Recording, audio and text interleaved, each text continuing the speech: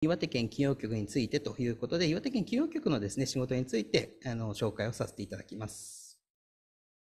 で本日内容としましては、まあ、企業局の事業内容と、あとその事業内容である電気事業、工業用水道事業、でその他にやっていることというような流れで説明をさせていただきます。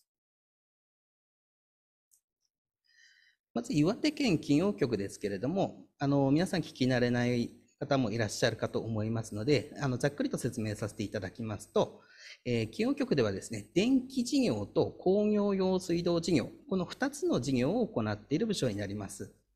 電気事業というのは、水力発電、風力発電、太陽光などのですね、電気を作る仕事を行う部署になっています。で、電気はですね、大体年間で、えー、約19万世帯分の、あのー電気を発電しているというようなことになっております。えっと、工業用水道事業ですけれども、こちらの方は、まあ、工業団地への工業用水供給ということで、工場などでですね、洗浄とかに使われる工業用水を供給するというような仕事をしております。でこちらの方は、まあ、そういう工場の誘致であったりとか、あの工業用水の供給ということで、大体9000人程度の雇用に寄与しているというような事業を行っております。で、これらの、えー、仕事がですね、岩手県民計画でどういう位置づけのところにいるかということをちょっとお話しさせていただきますと、まず電気事業につきましては、まあ、再生可能エネルギーによる、えー、電力の安定供給ということで、自然環境のところに位置づけられるものになります。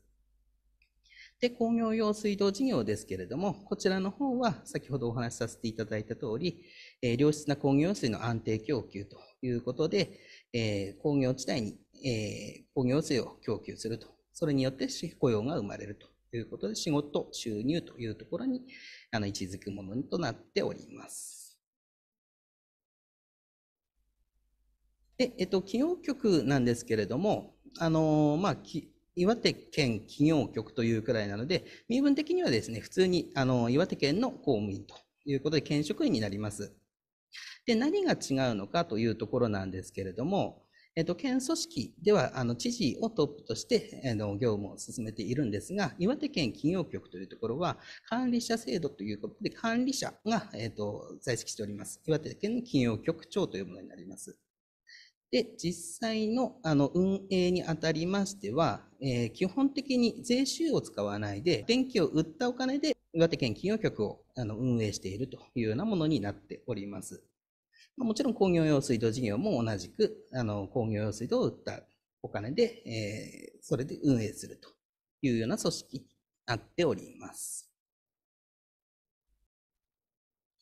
で企業局職員の構成についてちょっとお話しさせていただきますと、岩手県企業局はですね、あの普通の一般行政職と呼ばれる方たち、大体30人くらいですね。で、あとは電気職が64名と、あと機械職が約30名。土木職が約20名ということで、えー、ほとんど技術職の方が多い職場となっております。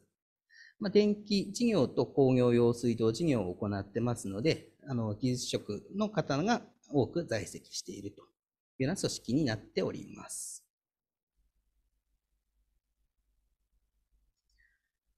それでは、えーと、と電気事業についてあの説明をさせていただきます。まず、え、ー、と、岩手県企業局ですけれども、えー、事務所と呼ばれるところですね、普段業務をしているところ。が3箇所ありまして、えー、こちらの図でいくと、えー、ピンク色のところになります。まず本庁と呼ばれるところ、あの盛岡の合同庁舎内にあるんですけれども、こちらの方では企業局の経営であったり、あと料金の算定であったり、新規の開発の計画を立てたりと基本的に経営に関する部分を担うところが本庁というところ。あと、えー、盛岡市内にもう一つあるんですけれども、そちらの方が施設総合管理所と言われて、えー、発電所のですね、維持管理や運転をしている部署になります。であと、丸3番、えー、県南施設管理所ということで、こちらの方は県南の方の発電所の管理を行っている部署になります。で企業局全体としてはですね、企業局の発電所20箇所あるんですけれども、こちらの方最大出力、合計でですね、17万5770キロワットということで、えー、まあ、大体17万6000くらいですかね、の発電所を運営しております。で、施設総合管理所では、えー、花巻市より北の発電所を管理している部署になります。で、えー、それ以降、南なんですね、えー、そちらの方は県南施設管理所というところで発電所を管理しております。で、えー、発電所を見ていただければわかるかと思うんですけれども、まあ、古いものは昭和32年から、で、新しいものは令和3年に運転を開始しておりまして、えー、古くからですね、水力発電の開発、で、えー、途中からですけれども、えー、風力発電であったり太陽光の開発ということを行っているものになります。では、その発電所でですね、実際どのぐらいの電気を供給しているのかというところですけれども、えーと、令和4年度の実績ですと、県内需要の約6%ということで、まあ、他の民間企業さんやら、あの県外のですね、あの発電所から電気を送っていただいているものが、全部でですね、92億6500万キロワット程度とになるんですけれども、岩手県企業局では5億8000万キロワットを発電しています。で、まあ大体、まあ、6%というお話をさせていただいたんですけれども、それの内訳はですね、ほとんどが水力ということになっております。もちろん岩手県内ですね、水力発電所以外、我々が持つ水力発電所以外にも民間さんが持っている水力発電所等もありますが、えーと、多くは岩手県企業局であの持っている発電所となります。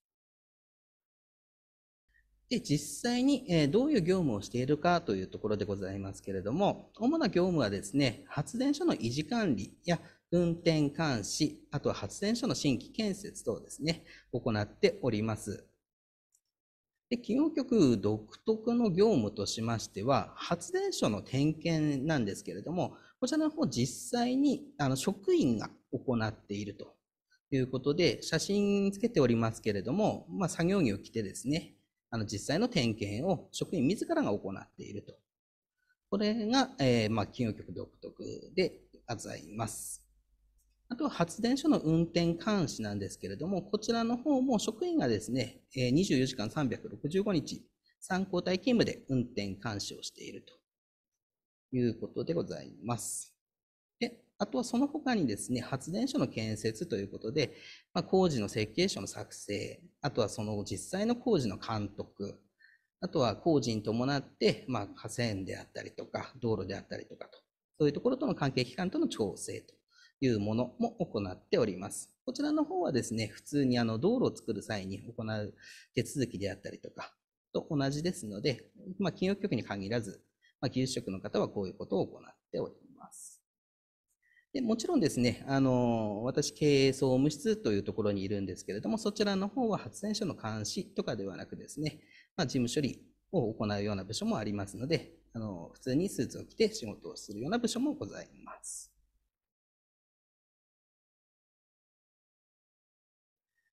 で、続きまして、えー、工業用水道事業についてご説明していきます。えー、企業局の工業水施設ですけれども、えー、県内に7カ所あります。北上工業団地、あとは千葉手中部工業団地、こちら金ヶ崎にあるんですけれども、そちらの方に工業用水を供給していると。で、えっ、ー、と、県南の方にございますので、県南施設管理所というところで工業用水も、えー、保守管理を行っているというものになります。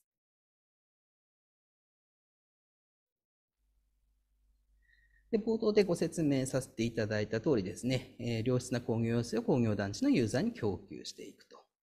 いうものを行っておりまして、自動車産業とかですね、あとは半導体産業、こちらの方に、えー、主に工業用水道事業、あ工業用水を供給しているというものになります。まあ、この工業用水の供給によって雇用機会を拡大するということで、本県の産業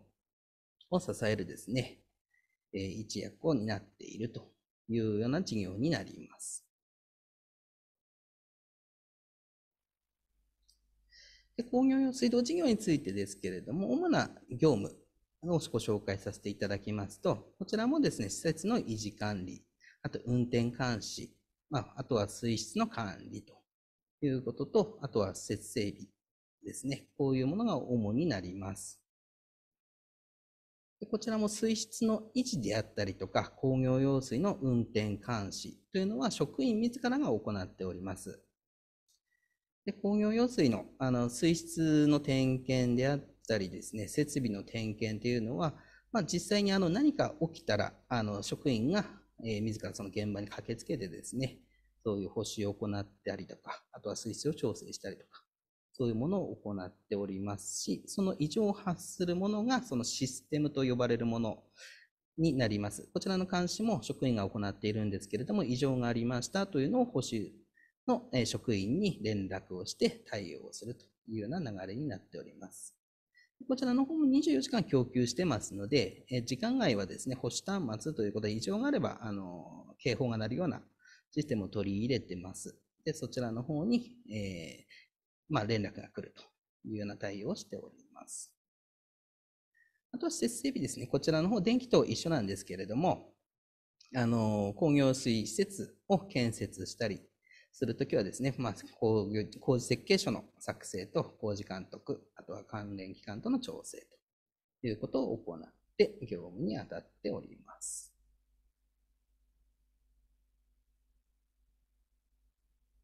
で、基本局の業務としては、あの、簡単にご説明させていただいたんですけれども、その他に何をやってるんですか？というところ、あとは、まあ、金融局入ってからどんなものあるんですか？というところをちょっと紹介させていただきます。で、企業局電気事業とかですね、あの工業水道事業をやっているということで、必要な資格っていうのを求められるものがあります。主にあの電気主任技術者の2種以上というのがないと事業として成り立たないというところがございます。あとは発電所がですね、あの、まあもちろん高電圧と特攻であったりとか、高電圧であったりとか、ということで、まあいろいろ危険がありますので、あの知識がないまま触ると、あの当然、あの危険を伴うということで、うちの先輩方ですね、あの、技術を持った職員がですね、あの、OJT ということで、いろいろ、あの、若手職員に対して、あの、技術を教えてくれます。そういう研修制度を作っていますし、あと先ほど紹介させていただいた電気主任技術者ですね、こちらの方、あの、取得するために、あの、まあ、試験受けるのにお金かかるんですけれども、そういうものはあの企業局で持ちますよということで財政支援をしていると。電気主任技者に関しては、まあえー、実際に受験するにあたって、あの簡単にあの勉強会みたいなものを開いております。まあ、それは合格するかは、まあ、本人の努力次第ではありますが、そのためのサポートを行っているということになります。で、実際64人ですかね、電気職がいるんですけれども、半数以上は電気主任技術者という資格を持っております。で、えー、発電所に勤務してますので、当然大学であのそういう単位を取得していればですね、経験年数によってその電気主任技術者の資格というのも取得が可能になります。あとは、まあ、働き方改革ということで、あの、企業局はですね、子育てしやすい職場環境にありまして、まあ、子供が生まれた年の育児に関する休暇の取得率というのは、企業局内ではですね、あの、男性含め、あの、100%ということで、えー、皆さんですね、積極的に育児にも参加しているというような職場になります。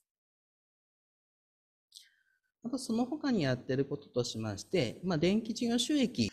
まあ、黒字になったというものを、まあ、何に使うかというところなんですけれども、施設の整備であったりとか、まあ、企業局の運営には当然使われるんですけれども、その他に、あの、地域の貢献ということで、あの、我々の施設のですね、えー、見学会というのを年に1回企画しております。で、こちらにかかる、あの、案内ですとか、あとは皆さんに施設を見ていただくためのバスの手配とか、そういうものを行って、あの我々の活動を見ていただいているというようなものになります。あとは発電所のあの立地しているところ、まあ、してないところもそうなんですけれども、植樹活動に対して、まあ、苗木の提供であったりとか、あとはその植えるための道具ですかね、あのスコップであったり、あのシャベルであったりというものをあの寄付したりという植樹活動支援というものをやっています。あとは市町村さんですかね。えっ、ー、と、基本的にクリーンエネルギーを導入したいんですと。まあ、例えば太陽光の設備を入れたいとか、LED 照明に更新したいとか、そういうものに対して補助金という形で、まあ、クリーンエネルギーの導入支援というものを行っております。で、その他にはですね、あの、関連する、あの、発電所があるダムの、えー、地域のお祭りであったりとか、あとは高森高原風力発電所のその周辺のお祭りであったりとか、そういうところにですね、えー、我々職員も出向いてですね、あの、いろいろお手伝いをさせていただいたり、一緒に楽しませていただいて、まあ、地域のお祭り等を盛り上げるというようなことをやっております。えー、発電所の見学についてはですね、えー、冬場はちょっとあの行けるところ行けないところというものはあるんですけれども、基本的に夏場であれば随時受付ということで、ホームページの方にですね、あの紹介させていただいておりますので、もしあの興味がある方はそちらの方にもお越しいただければなと思います。えー、業務の説明の方はこれで以上となります。